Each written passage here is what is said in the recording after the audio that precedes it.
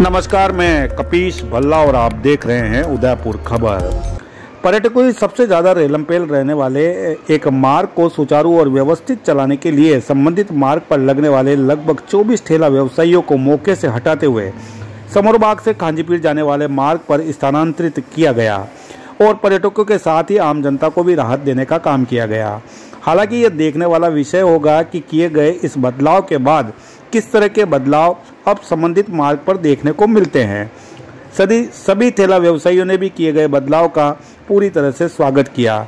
लेकिन एक लंबे समय अंतराल के बाद किए गए जाने वाले इस बदलाव को विधायक महोदय के हस्तक्षेप के बाद किया गया। जो कि वास्तविकता में देखा जाए तो नगर निगम उदयपुर के एनयूएलएम शाखा के द्वारा किए जाने वाला यह एक छोटा सा कार्य था।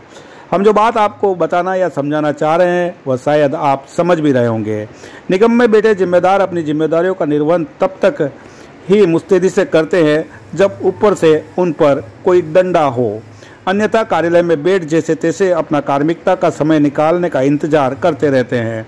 हालाँकि विधायक साहब के द्वारा किया गया कार्य निसंदेह बहुत ही बेहतरीन और सराहनीय कार्य है। अगर इसी तरह से विधायक साहब एक बार मठ पर भी चले जाए और शहर के प्रमुख और मुख्य पर्यटन स्थल सुखड़िया सर्कल का भी एक छोटा सा दौरा कर ले।